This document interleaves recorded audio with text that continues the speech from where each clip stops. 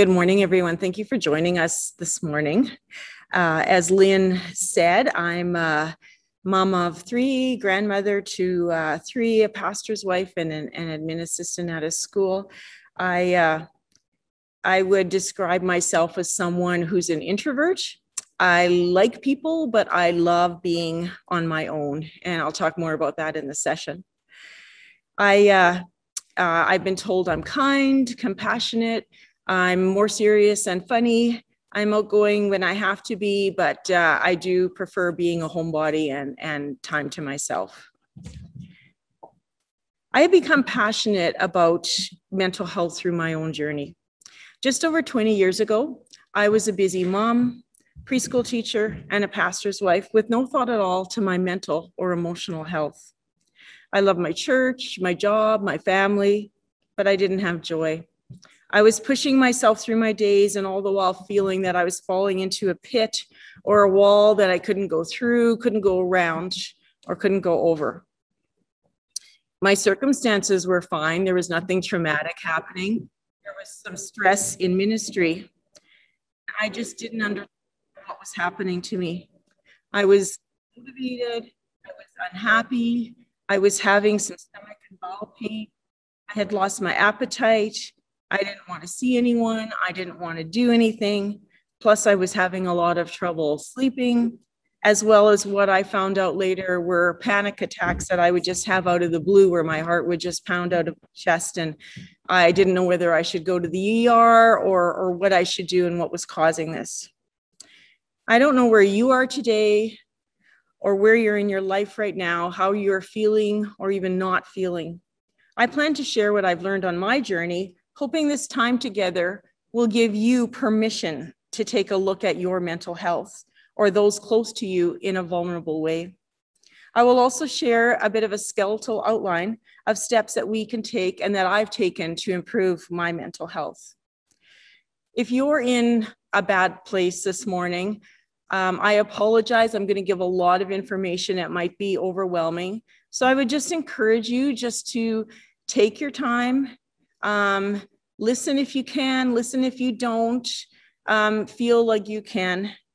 But just, I don't want you to be overwhelmed. So you can always listen to this later at some point or, or um, explore some other avenues. But yeah, I am going to be throwing a lot of information at you this morning. Just a, a note about that.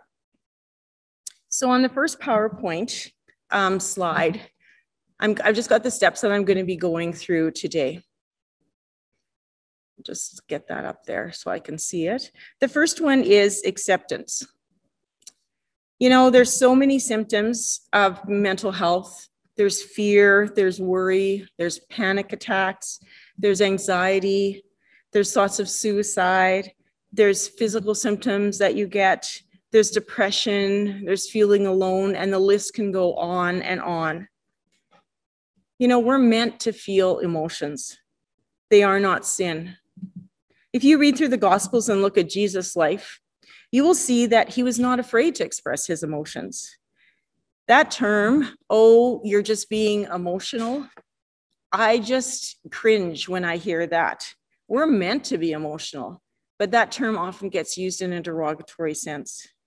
God created us with emotions, and he means for us to be emotional. I also find that it's time to be vulnerable with our mental and emotional health. There's been a notion forever, it seems, that Christians should not struggle in that way. They shouldn't get depressed. This is false. We are human, and depression and mental health issues are not sinful, nor are they necessarily caused by sin. And taking the step to say, oh man, something's not right in my life, and to accept that notion if we stay in denial, everything is going to stay the same. Accepting that something wrong is going on can be very difficult. It can be daunting and it can be scary, but it's crucial. Part of accepting what we are going through is waiting. This is a time during this time when you're kind of at the beginning and accepting is to wait on God. At this point in my life, I didn't know which way to turn. I asked God to do whatever He needed to do to draw me closer to Him and I totally abandoned any plans that I had for my life at that time, besides still being a wife and a mother. I had to accept the pitch, I had to recognize it, and I had to call it what it was. Waiting also involves trusting, giving up control. We often think that we have to fix the issues on our own. Trusting that God will do his best for us and often trusting others with their help is very important. Waiting is also resting. This is a whole new topic that I feel in our culture that we don't tend to adhere to. We want to burn out for God. I don't know if that's as popular as it used to be, but back in the when I was a teenager, that was a popular slogan. When missionaries come home, we make them travel around um, looking for more support and sharing their stories, when a lot of times in reality, they need to be resting and they need to be recharging so that they can go back to the mission field intact and not depleted. We often don't give our pastors or our ministry leaders sabbaticals. We often don't even take our own holiday uh, holidays that our bosses pay us to do. I recently read a book by Kelly Bellary, and it's called Rest Now. She talked about how rest includes drawing away or drawing apart. It means saying no, it means setting boundaries, it means being still in our work and also in our minds. The definition of rest is to cease work or movement, to refresh oneself, to recover strength. And this should also be our goals when we're resting. Mark 6, verse 31 says, Come away by yourselves to a desolate place and rest a while. Jesus was also an example of this. I'm not totally sure how much time he had to rest because he only had the three years of, of really intense ministry. But he didn't take rest or solitude lightly. There are many times in the gospel that he shows us the examples of rest and stillness. We need to rest our minds, our bodies, and our agendas. Rest will mean different things for different people. You need to do what's best for you, not what others think that you should do. I would have loved to have checked myself into a facility at that time. Um, it was about like 23 years ago that I was going through this, and just to get some help and find out what was going on. But I had a busy husband, I had young children. Um, we didn't have any family around us at all during that time. So it just kind of seemed like that was not a choice that I could make. I was also concerned about my children during this time. They, I don't, of course, like, why is mom laying on the couch for days at time, barely even able to smile or even function? I didn't want to go away and make it more traumatic for them. So I was trying to think of myself and and as a mom as well. I was also a pastor's wife who was depressed. And that didn't fit in with some of our church people's beliefs. I was even one told one time just to get over it. So I did what I could to take care of myself in the circumstances that I was in. During my time of rest, I quit my job, I quit the church, I removed myself from people, and I focused on my own health. I recently listened to a podcast um, about with Rick and Kay Warren, now, their son had struggled with mental health all of his life. And when he was 27 years old in 2013, he committed suicide. In their grief and shock, and for the good of themselves, they totally quit everything for one whole year, just like that. And they um, they said they they weren't angry at God. They um, there was nothing like that but they just needed time. So if a mega church pastor like Rick Warren, who has churches all over the world and has his finger in so many things, can take can do that and rest, we can too. Waiting might mean practicing transparency by telling others what, about your struggles and having them pray for you. Waiting can mean accepting our own weaknesses. Waiting also means admitting that there's a problem. Waiting can also mean a blow to our pride. It can mean getting labeled or being stigmatized, and it can mean people looking at you differently, tiptoeing around you, treating you like a weakling or someone that they don't know how to talk to. but it is necessary to deal with any kind of denial and accept what is happening. Once we do that, we can move on to the next step, that of discovering. Discover. It's time to try to find out what's going on in our minds and body. This is where we often need the help of professionals. When I found that I needed to see a counselor, I could not fathom that I would ever need to go to one. I didn't want to deal with the stigma of having to see a therapist. I was the one who counseled others and helped them, not the other way around. I could not physically even pick up the phone to make the phone call. So my husband had to do that for me. And I'm so glad to this day that I made that step. I was listening to a documentary about Fred Rogers the other day, um, and uh, you know, um, from the neighborhood, and he said something that really struck me.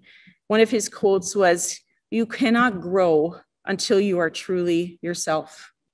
So it's time to do some digging.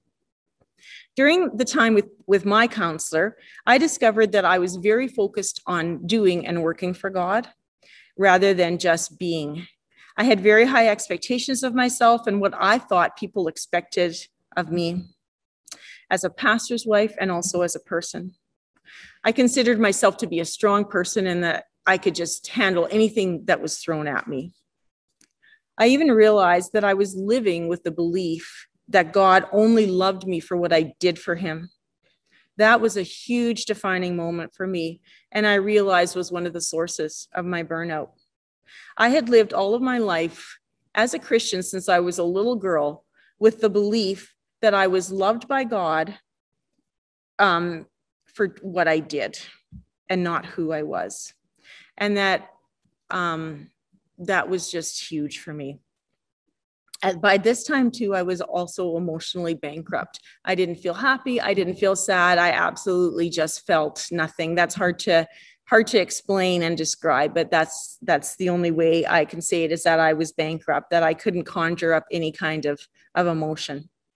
I was taking care of everyone else feeling i had to meet every need and feeling guilty when i didn't meet the needs that i saw in our church or family or around me.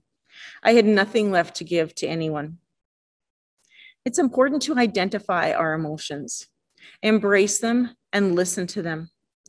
We don't have an unlimited supply of emotional resource.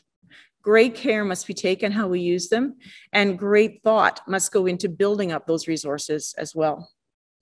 This time of discovery for me is still ongoing, but at that time it was more intense, and I would say it lasted about um, two to three years. Don't let that scare you. Once you've accepted that you are experiencing some mental health issues, it's vital to discover the source of what you are feeling and why, and then the why. What is causing your brokenness, your fear, your anxiety, your depression? There usually is a source. Discovering that source is crucial.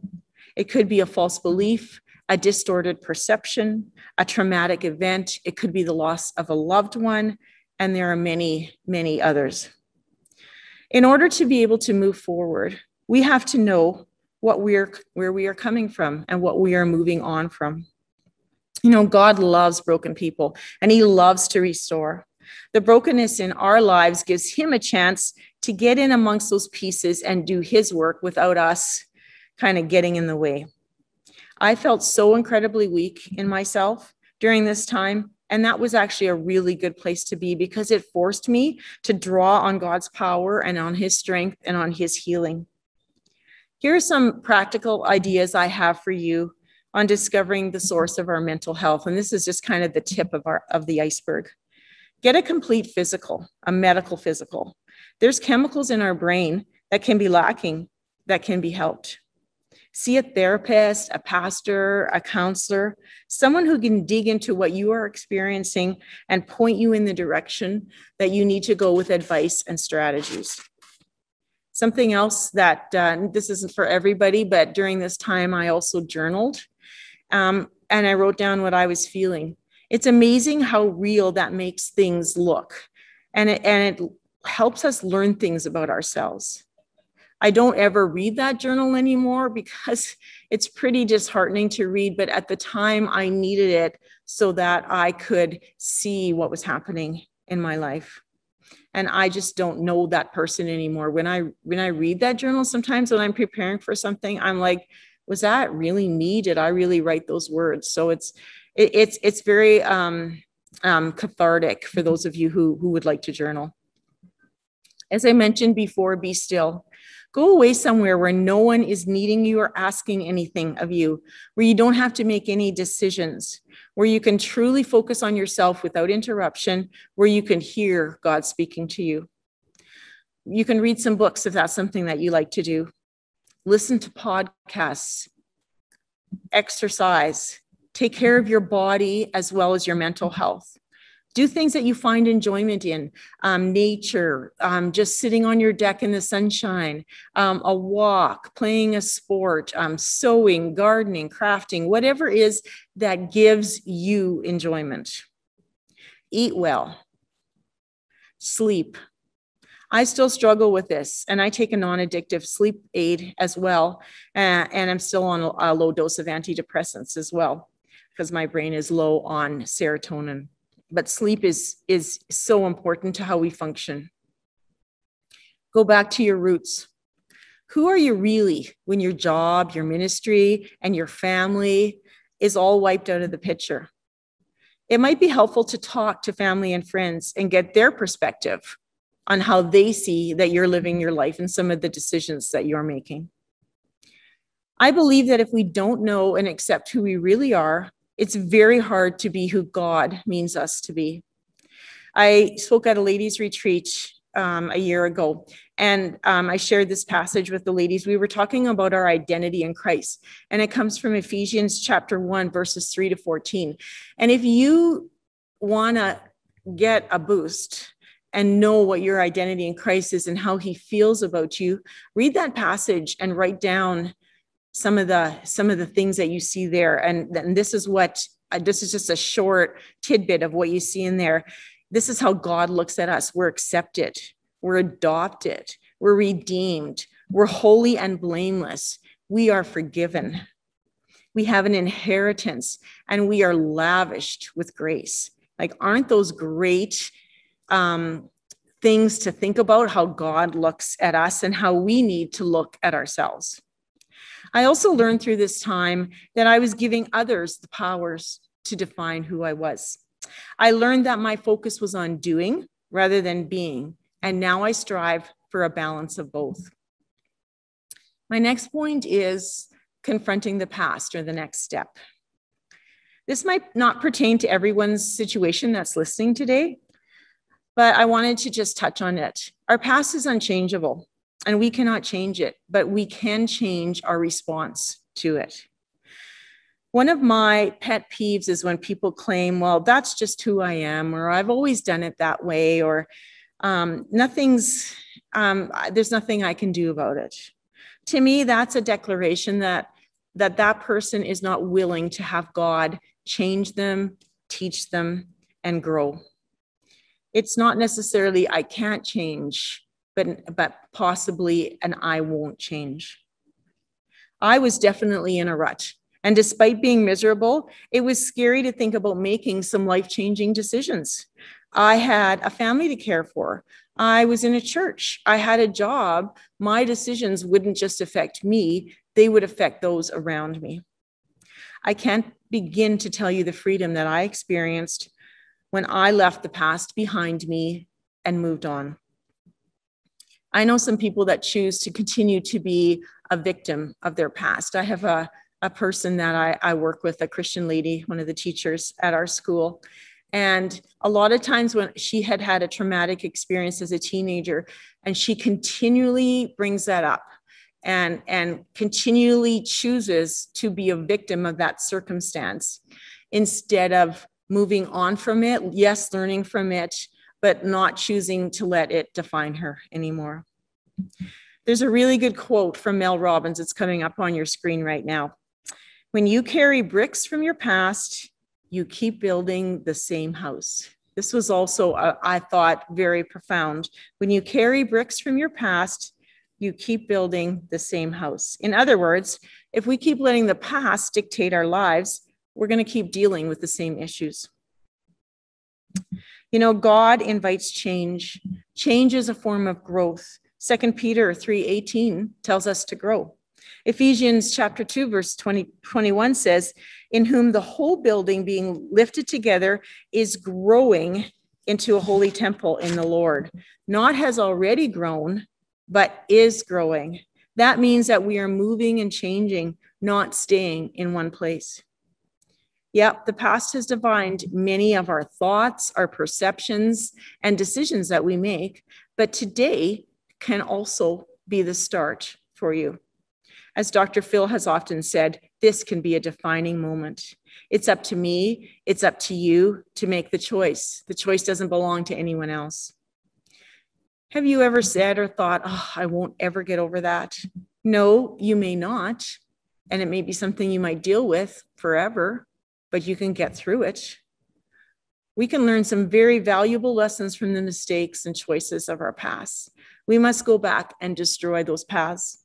Some of those paths may be behavior patterns, certain friendships, or destructive habits, could be negative thoughts. We don't want to go down that road again. Time to take a different path. Our next step is learning the lessons, and this is the bulk of my of my talk today.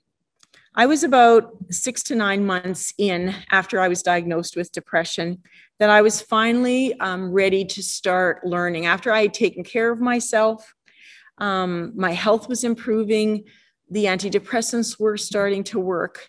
I was starting to feel a little bit better. And at that time, I thought, okay, I don't want this to happen again. It's time for me to do some studying and make some changes in my life. You see, it wasn't anyone else's fault. It wasn't anyone else's responsibility for I went through. I was not living my life in a way that was mentally healthy. At that point, when that happened, I hadn't even ever given thought to my emotional and mental health. And that could be partly because of the era. It was something that was a little bit of taboo to talk to. Now it's out there um, everywhere, not just in the Christian circles, but in, in other circles as well. Um, so that could have been part of it. But this just kind of was like a blow um, on the head to me like, look, you got to see what's happening with you. My counselor revealed a few things to me that were very helpful and that I hadn't realized. She said that I was too compassionate. I didn't know there was such a thing.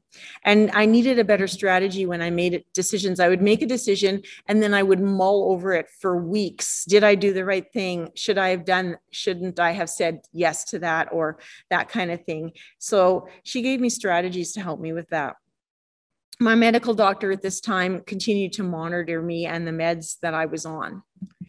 I also began looking for books that would help me. I'm a reader. So um, I looked for books, and not a lot was available 22, 23 years ago. I don't even think there was such a thing as Google to look on.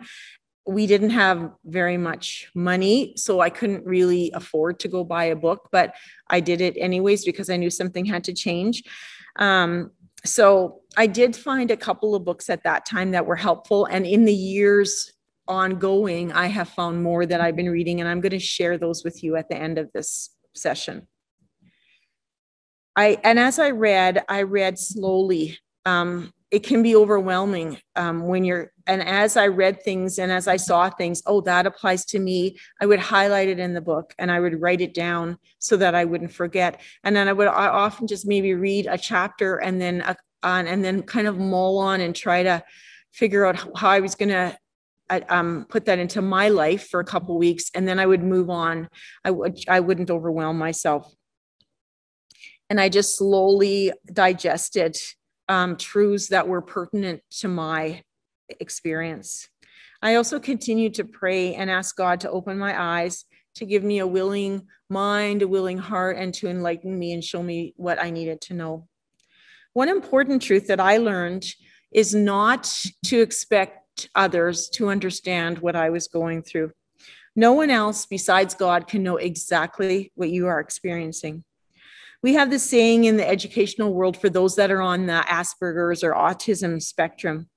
Once you have met a child with autism, you have only met one child with autism. I believe the same truth holds for mental health as well. You, we, I might be able to relate to some of you today um, with what I'm saying, but chances are I mean, I'm not going to be able to relate to a lot of you. And I might be able to relate to certain areas in your life, but not to others. But I can't claim that I can totally understand exactly what you're going through. So if you're if that's a point where you're at, I would encourage you to drop that because and, and, to not waste your emotional time and energy because that's just something that um, is just going to be a drain for you. I know quite a few people that struggle with fear and anxiety. I believe that Satan is using this as a tool to cripple Christians. The phrase fear not in the Bible is used at least 80 times. It's not a suggestion necessarily either. So, there are places where it sounds to me like it's actually a command. God knows that the enemy uses fear to decrease our hope, to limit our victories, and to keep us captive. We were not saved and redeemed only to limp along in the Christian life. We don't want to be riddled with fear and anxiety. Fear can also mean a lack of power, a lack of faith. 2 Timothy 1 6 7, which I know a lot of us have heard through our lives, says, For God gave us a spirit not of fear, but of power and of love and of self control. God can give us the power to confront and defeat our fears. We all get scared of things, but I believe that this verse is talking about the fear that can rule our lives and cripple us. I understand from this verse that fear needs to re- be replaced with God's power and our self control. It's funny, when I was studying for this, that was the first time that that really hit me. It says, God gave us a, did not give us a spirit of fear, but of power. I also believe that a lot of our issues arise from our thinking and our perceptions that we have developed either through our past, our childhood, or our insecurities. Romans 12, verses 1 to 2, I like the way it says it in the messenger. So here's what I want you to do God helping you take your everyday, ordinary life, your sleeping, your eating, going to work, and walking around life, and place it before God as an offering.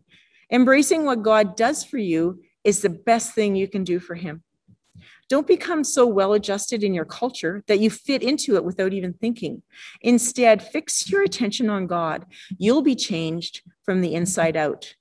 Readily recognize what he wants from you and quickly respond to it. Unlike the culture around you, always dragging you down to its level of immaturity, God brings the best out of you, develops well formed maturity in you. Other versions of the Bible say the renewing and transforming of your mind. This verse to me is a real gold nugget. It's also the cog in the wheel of our mental and emotional health. It makes sense, doesn't it, that how we think defines our mental health. For me, I expected a lot of myself, and I would berate myself and make myself feel guilty for the mistakes I made, for the stupid things I said, for if I didn't say the right thing at the right time, or when I should have done something and I didn't. I grew up with a beautiful, almost perfect sister, so I thought, who I knew was the favorite. And everyone seemed to like her better than they did me. And I constantly compared myself to her and came up short. And I let that thinking dominate a lot of my thoughts and perceptions and my life. And she's a wonderful person. It's nothing that she did, it was all coming from my perceptions. Our mind is the catalyst to everything in our life. Buddha even said, The mind is everything. What you think, you become. I believe the Bible also speaks to this when Jesus mentions that as we think about things, that is who we are. If we think negative thoughts that terrible things are going to happen, we are robbing ourselves of joy and, and robbing ourselves of enjoying the here and now. If we are critical, the words we speak and the way we live will be a consequence of that. We need to learn to focus on our thought patterns and insecure and negative thoughts and turn those thoughts into something positive and energizing. Lysa TerKeurst says, The experiences that I have affect the perceptions I form. The perceptions I form eventually become the beliefs I carry. The beliefs I carry determine what I see. I found this very profound. If you can, take some time to think on this truth and unpack it in your life. Take some time to write down some of your experiences then your perceptions from those experiences, then your beliefs from those experiences. Changing the way we think changes our perspective. We cannot change what we have experienced, but we can choose how the experiences change us. Second Corinthians 10, verse 5, tells us to take every thought captive, every thought, not just some. This requires a focus and a stillness, and it involves finding strategies that work for us. This will be different for everyone. For me, when I find myself seeing someone and I immediately want to judge or criticize, I think of a compliment that I could give them or something that I really appreciate about them. I say a quick prayer for them. Um, a couple of years ago, as I was uh, driving to work uh, um, in the mornings, this was in the winter, I, I, kept seeing this lady, and I think she was probably in about her early 20s, or maybe she was even late teen. She was very overweight, and she just had this look of intense sadness on her face. Um, maybe not even being sad, but just I just got the sense that maybe her life wasn't very joyful. And I prayed for her when I she because she would often walk across as I was waiting at the light. And when I saw her, I would just pray and ask God to bring someone into her life that day to give her some tidbit of joy, to have some Christian pass her way. And uh, that kept me from thinking, oh, what we sometimes think, oh, you know, she doesn't look very happy. Like, what's wrong with her? You know, what I have learned in my life is that everyone has a story, and we have no idea what that story is. So we need to treat them with respect and kindness because we have no idea where they're coming from. If Satan's trying to get me to feel bad about myself, I send him away. And I think of a scripture or a positive characteristic about myself, or something that I have done, or a compliment that somebody's given me, or something that I'm proud on. I kind of pat myself on the back in my mind, but not enough that I get um, puffed up with pride. I ask God to, to keep me humble. Try um, some anchor thoughts. Instead of, I will fail, how about I will try? Or instead of, I'm not good enough, how about but I'm getting better every day. Think, think of some anchor thoughts that you can be using in your head when those thoughts pop up into your head. Turn the negative into a positive and practice it. And it is going to take practice. Turn your nerves of fear and anxiety into excitement. Example, I've heard people say, Oh, my children are flying over the ocean or they're driving a long distance. I'm so scared they're going to have an accident or something's going to happen. Well, that's not good for us. Instead, how about turning those thoughts into, I'm so excited to see them. I'm going to cook their favorite meal. I'm going to meet them at the airport. I'm going to get the house ready for them. Turn those um, thoughts of fear into, I'm so excited to see them. Leave them in God's hands if I start feeling overwhelmed and start thinking about all of the stuff that I have going on and need to do, I stop and force myself just to think about today. And again, all of these things that I'm talking about are intentional. And eventually, I believe that as we practice them, the more it's going to become more of a habit. Um, one of the very first books I read that had come out like 25 years ago was Traveling Light by Max Lucado. And if you're looking for a book, and you could probably find it somewhere on Amazon or whatever to start out with, that's not very heavy. It, he talks about burdens that we carry that we're never meant to carry. I would recommend um, this book. He unpacks Matthew 6, verse 34. This is another golden truth in scripture that I have chosen to live by and practice in my life. And again, I like what he how he says it in the messenger. It, it says, "Give your entire attention to what God is doing right now, and don't get worked up about what may or may not happen tomorrow. God will help you deal with whatever hard things come up when the time comes. Be present. This takes practice." As you are listening today, check yourself am i present right now? Am i am i listening to this talk? Or in my mind i'm already thinking oh boy after this i'm going to go for dinner. I'm what i'm going to do this afternoon? What's happening next week? That's not being present. Uh, um, maybe some people are thinking i don't know what i will do if i get covid. You will when the time comes. I don't know what i will do when my kids leave home and i have an empty nest. You will when the time comes I could never do this or I could never do that or I could never do what God's asking me to do. You will be able to do that when the time comes. He goes on to say the key is this this is what Max Lucado says meet today's problems with today's strength. Don't start tackling tomorrow's problems until tomorrow. You may not have tomorrow's strength yet. You simply have enough for today. This doesn't mean that we don't plan. It doesn't mean that we don't have common sense because we, we still need to do that, of course. What I did is I actually threw out my day planner uh, when, as I learned to apply this truth to my life because I was making list upon list about what needed to be done today, next week, next month. And then when I checked that off my list, oh, that felt so good. But it wasn't healthy for me because I was not focusing on today or I wasn't enjoying what God was showing me today. I wasn't enjoying my children doing something today. I wasn't enjoying being present and taking the day as it came. Sometimes my husband will ask me, like on Monday, what I have planned for the weekend. And if I'm at a place where I'm deleted, I honestly don't even think about that. I haven't even thought that far ahead because I don't know where my energy levels will be at that point, unless it's something like this, for instance, that I had been planning on. I'll decide to do that on the day when I get there. It provides me with freedom and balance and helps me to be present. And I mean, my husband has been great. He's been so supportive. He knows that, let's say there's something going on that he sometimes doesn't know till, that I'm going to something till I jump into the car with him because I am waiting to see if this is something that I that I can handle, and he's he's really good about that. So um, making those decisions, living in the present, also provides me with balance. And speaking of balance, that's something else that I would like to touch on. For me, balance is huge. And this is the word on my letterboard that you're seeing right now that I have in my kitchen as a reminder. A component of balance that has become one of the found, or sorry, the component of balance has become one of the foundations of my mental health. And boundaries are also a component of my mental health. Boundaries are borders. They help us to see the valuable and to ditch the peripheral. They keep in what matters and what doesn't.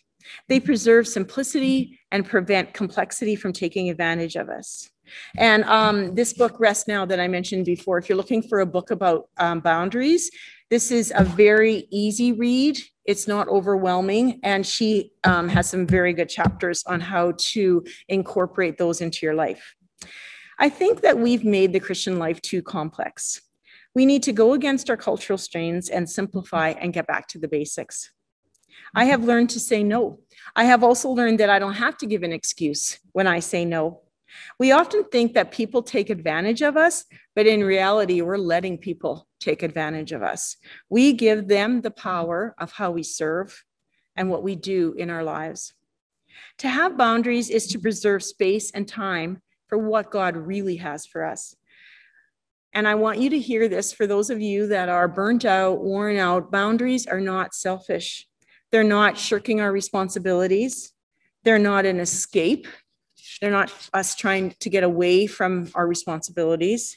And they are definitely not a punishment to others. You know, Jesus, as I mentioned before, only had three years to fulfill that intense ministry time on earth. We're not shown in the Bible what happened during that time, all of it, but we did do see in the Gospels that he did take time for himself. He spent time just hanging out with the disciples. He went to celebrations like weddings. Um, he went to his friend's place for meals. We also see that the disciples often pushed him, infringing on his alone time and questioning him when he made certain decisions. Yet he stuck to his boundaries, even though there were an, an infinite amount of needs all around him.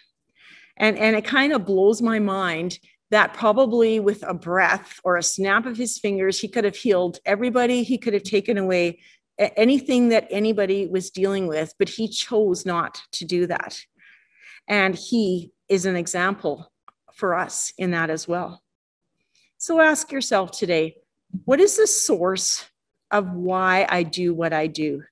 Is it fear of what others will think of me? Chances are and someone told me this one time they're probably not thinking about you nearly as much as as you think they are. They've probably already moved on from your no or no thank you. Is the source faith or obligation? Are you doing it because you have prayed about it and have asked god if it's something that he wants you to do? Or is it well, no one else is saying yes, or I'm the only one who can do a good job of it? Or is it a need for control where no one else can do it the way exactly that I want to see it done? Is it hope or the hopeless sense that you have to rescue others or come to their aid? I struggled with this as a pastor's wife. I still do. Comparing myself when I saw what other pastors' wives were doing and, oh, why wasn't I like them? Or thinking that I was responsible for the needs of our church family and for their growth. Once we recognize the source of saying yes instead of no, no, or thanks, I can't do it at this time, we can then learn to set boundaries for ourselves. Once we recognize, or sorry, I just said that. I have also found that we do need to be flexible. Boundaries are not set in stone and they have to be flexible. And to be honest with you, today I am coming to you very worn out and very at the end of my resources. Our kids and our new grandbaby were just here for about a week. And then our other daughter came after that. I've been preparing for this workshop. Our school office, I work in a school with uh, 500 people, is incredibly busy this time of year. June is just like mind blowing, and uh, and I'm running all day long. Um, yesterday, my dad was supposed to have surgery here in Saskatoon, and the surgery got canceled because they found a mass. So now he's in the hospital, and my mom is staying with us, and we're trying to support her. So um, none of these items are really traumatic right now um, and terrible, but for me, myself, they are so draining. And, uh, but all of these things are not also non negotiable for me at this time. So, as we're going through this time, I'm trying to get my rest. I'm trying to keep up exercising. I'm trying to spend some time by myself so I can recharge. But I know at some point, that um, I know my body and I know myself by now. I am going to crash and I'm going to crash hard. I'm going to have headaches. I'm my face is going to feel so tight like I have a vice wrapped around it. I am going to have to be taking pain medication. And um, I've already been having trouble sleeping this week. So it's already starting to be affect me. And everything from cleaning the house to if anybody asks me anything is going to be a hard no right now. Last week, I also had a text from a former church member who has gone through a, a, lot of tough struggles in her life, asking if I could call her sometime. And I have a real desire to listen to her and to help her, but I just can't deal with that right now. Um, so that was me setting my boundaries. Do I deal with guilt? Oh, yes. Do I sometimes feel selfish when I have to spend time on myself and I choose that over other people? I choose that coming to church. I even choose that over my family. I definitely feel with deal with guilt and I have to to live with that and to learn to not berate myself for that. I have a job that is very demanding. I wear a mask 8 hours a day. I don't get a break. I sometimes have to gulp down my lunch in between oh bandaging skinned knees to dealing with the police coming for something or other, answering the phone, and now this year the doorbell, and dealing with a myriad of other requests, helping 50 other staff in whatever they need. But I absolutely love my job. I'm good at what I do. It fulfills me. I use it as a ministry. I love my coworkers and the students, but it also drains me. It stresses me. And I come home with it some days. That is where balance comes in. If I've had a crazy week at work, I don't plan any evening events for myself. I don't answer the phone. Other weeks, I have the energy for it. I don't make decisions of what my week or my month will look like instead of pushing myself to a place where I'm barely functioning. I take it as it comes. Events can go without me. I don't have to be at everything. Life, other people's lives can go on without me. Others can fill in places that are vacant. And if that need stays vacant, well, that's not my responsibility there's a lot of great resources on how to set boundaries. And as I said, the book Rest Now is a really great one if you're interested in that one. Another lesson that I believe we need to practice in our daily lives is forgiveness. This is also not suggested in scripture, but commanded. And we see many examples in the Bible of forgiveness. I could probably do a whole session on forgiveness, but I just want to share a few nuggets and let you delve into the subject yourselves, if this is something that pertains to you. Every book that I have read on mental health has had a chapter on forgiveness. Unforgiveness can be a crucial roadblock to having a healthy mental attitude. Forgiveness does not mean that we believe what happened is okay. Forgiveness does not mean that we necessarily forget the offense. Jesus, God, they're the only ones that can forget offenses. Forgiveness does not ex- also excuse someone's behavior. Researchers have found that forgiveness dramatically improves our lives physically and mentally and emotionally. Unforgiveness allows us to hang on to any anger, resentment, or bitterness that we may have, and that anger in turn will affect us in adverse ways. I have seen people that walk around with anger in their lives, as I'm sure you have as well. They are not doing themselves or those around them any good at all. Uh, some of you who aren't from Saskatchewan may have heard of our huge Humboldt tragedy that we had when the um, the Broncos, when many of them were killed and injured. And as the trial was going on a year or more later, um, I listened to some of the parents' testimonies on radio. And um, some of them said, Yep, I am going to forgive um, the driver. And I, in my head, I'm going, Good for you. You're going to be able to move on and you're going to be able to be healthy. Other people, I heard such bitterness in some of these parents' voices. I am never going to forgive that guy. And I'm like, that doesn't it, it, doesn't do anything for the truck driver. You're forgiving for yourself. And i feel bad for those people. What kind of life are they going to live with that kind of bitterness in their hearts? It's a choice. Forgiveness is a choice that we have to make and it's but it's also a process. And lots of times we you might have to forgive that um, whatever it is against that person over and over again until you die that is why Jesus said in Matthew that we need to forgive 70 times seven. Whenever we feel that resentment overtaking us, that anger, that bitterness, it's time for God to help us. It's time to go to Him and ask Him for forgiveness again and give that anger, that bitterness, that resentment to Him. He wants to take that for us. I find that the hardest person to forgive is ourselves. Disappointment in ourselves and self condemnation is very hard to get over with and deal with because we kind of can't get away from, from me. These are thoughts and feelings that we need to continually give to God and let Him provide the healing. Again, this is something that we choose to do. It was a few years after my depression that I went through ascension with my with a mentor, Anita, actually, who's sitting here today. I don't know if you remember that, Anita, and she they were out in Saskatoon, and she brought up forgiveness to me. And she led me through some steps of forgiveness. And, you know, I didn't even realize that there were people that I needed to forgive. And these people that I needed to forgive, it was years ago already. I didn't even see them anymore. But, at, but through that session, I saw my anger and my need to do some forgiving. And again, that brought so much freedom in my life we don't always look at ourselves honestly and realistic. So if we have the opportunity to have a mature Christian that we trust speak into our lives, take advantage of it.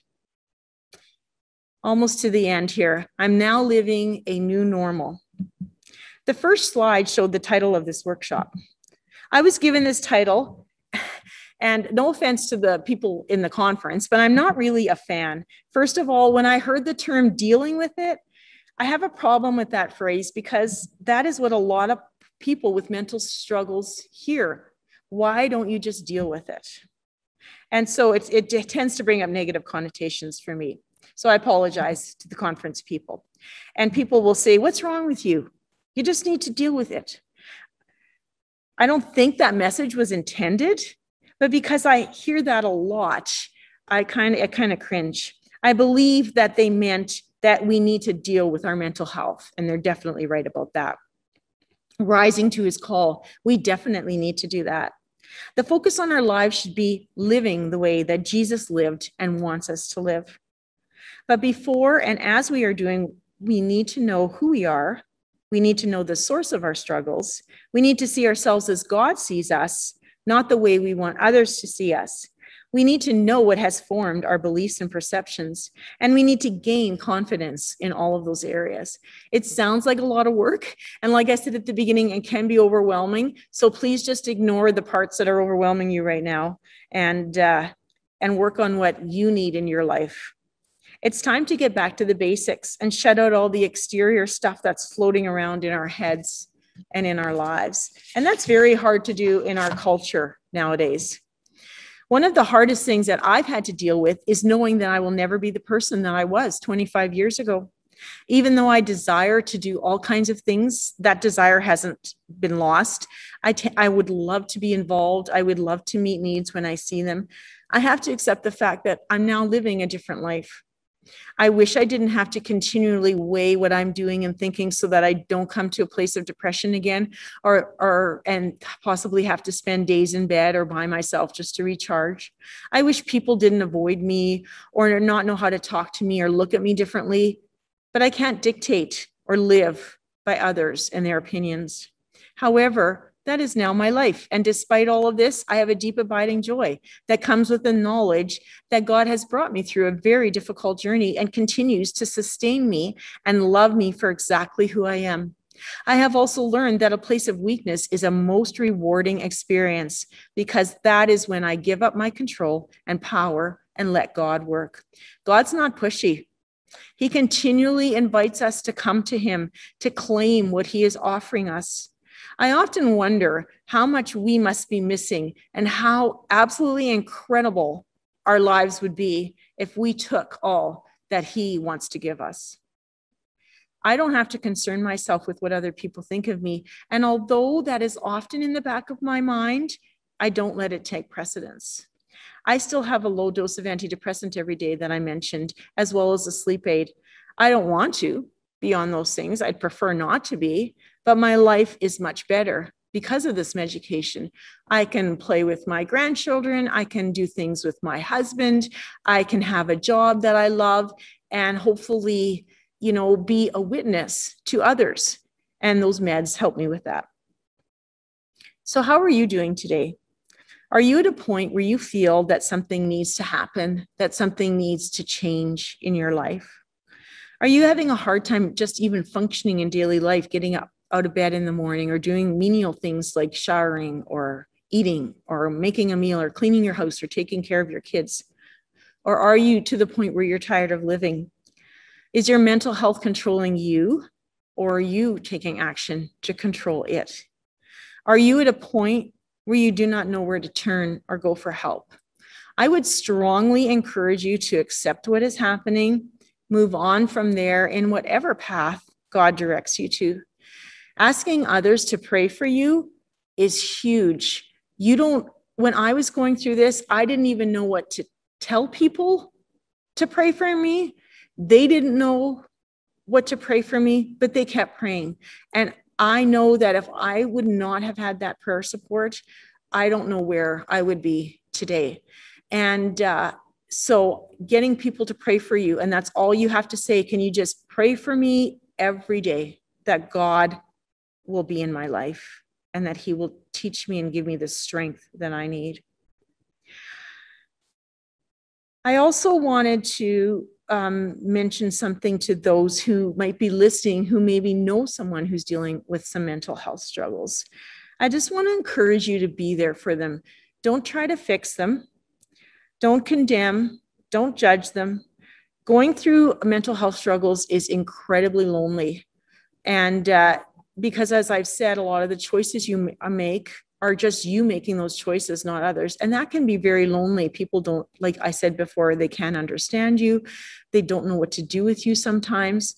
So give them some respect, people that are struggling, cheer them on. Um, I would even suggest that you do some practical things for them. If it's a young mom that you know of, take her kids for the day or for a sleepover just to give her a day to herself. Make some meals for somebody. Um, if if you have the means and they're struggling, they had to quit their job, provide some financial means. Um, there's just a myriad of practical things. Send them, send the husband and wife to a hotel one day and clean their house for them, or, or send someone to clean their house for them.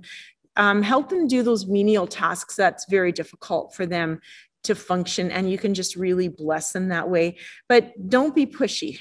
Like when you bring a meal over, drop it at their doorstep and then leave don't stay and visit with them because chances are they maybe don't have the energy for that. Maybe you're struggling with mental health and being around people does help you. Well, that's great. Well, then let people see. I was exactly the opposite, but it could be different for you. Your energy might come from being around people. So then get together with your friends or do whatever you need if that if that builds you up. If you're already in the process somewhere of these steps that I've talked about today, you go, you keep moving forward but do it at your own pace, whether it's baby steps or giant steps. Just keep on moving. And uh, you're going to have discouraging times, but keep on going. God's going to help you. Our past is behind us. It's time to focus on the now. It's time to focus on you. Now, I don't know where we're at for time. Three minutes. Okay.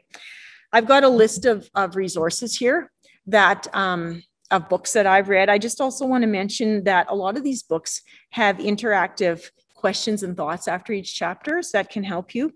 Um, and also, I wanted to mention Mel Robbins at the bottom there. She's not a Christian, but I have listened to her TV shows and podcasts, and she's incredibly grounded and um, very um, down to earth. So she's somebody I would encourage you to listen for if you don't like reading. And the book by Daniel Amen, I haven't read that one. That's on my list to read this summer. He's also not a Christian, but it looks like he's got some really great ways to learn how to train your brain. So now wondering if there's any questions or comments that anyone has for me. Sheryl, right now we have one comment that has come in on the uh, on the public chat, and it's from Murray and Carol Hansberger from uh, Wycliffe, and they are missionaries in Papua New Guinea. And one of the things that they say is self-care is not selfish. The motto of the Carith Pine or Carith Creek in Calgary retreat where the Altona EMMC sent us several years ago. Uh, I'm not sure if you want to comment to that. Also, if Sheryl, if you're comfortable with it, we can have people unmute their mics and maybe uh, share a comment or maybe a question that way as well if they don't want to just type it in. Is that okay with you? Yeah, that's definitely okay. And I, yeah, exactly. Self care is not being selfish. I grew up in a church where I always saw the acronym JOY, Jesus, others, and you, and how you were always supposed to push yourself to the bottom. Um, yeah, I don't believe that's the way Jesus wants us to live. Great. Thanks, Sheryl. Um, yep, there is a few more minutes left. Uh, if any of you have any comments for Sheryl or maybe have some uh, thoughts or some insights that you want to share from your own personal experiences, um, unmute your mic and share it. You can. We'll give a we'll give a couple of minutes. I also wanted to mention too um, that if you're wanting a list of these resources, I'm going to send them to the EMMC office.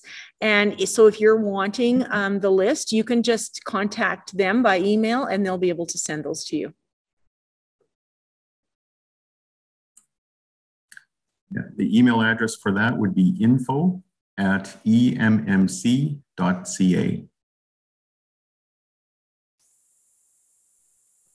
I appreciate you listening to me as well today. And I've been praying for those who have been listening that uh, God would be working in your lives. And I just want to encourage you to to um, to work on your on your mental health and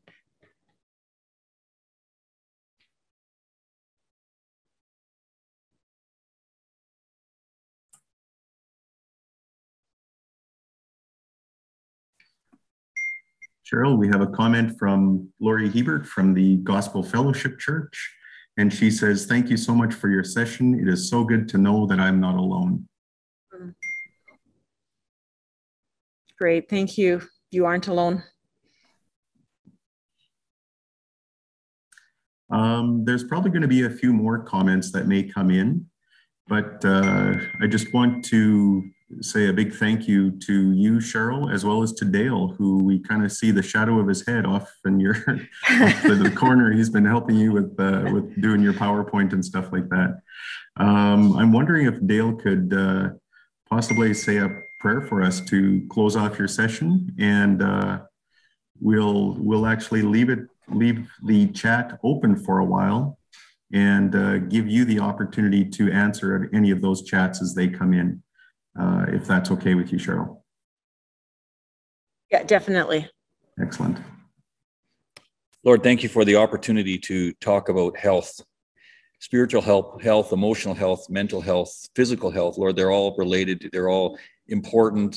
They can't be neglected or isolated from each other. And thank you for Sheryl's journey and for what you've taught her, what you've taught us, and just for the the way you meet us in our point of need. Lord, I just want to pray for for each one that's listening, for others that may see this later, Lord, that they would know that they are never alone because you are there and that you care and that you meet us where we are at if we are honest and open. And so, Lord, would you just give the strength and grace that each needs? And we just pray that you're for your blessing on on us, whatever stage of the journey that we're at. And Lord, as we're walking that journey, that you you will meet us as we as we trust you to do that. Uh, bless each one that's been listening, and we just uh, ask for you to have your perfect will and and timing and purpose in each one of us. And we commit ourselves to you in Jesus' name. Amen. And thanks, Sheryl, for this this morning. Um, I just had a note here from Norman Dewick from the Spanish Lookout Church. Uh, they had 11 people that were viewing your session from their church as well.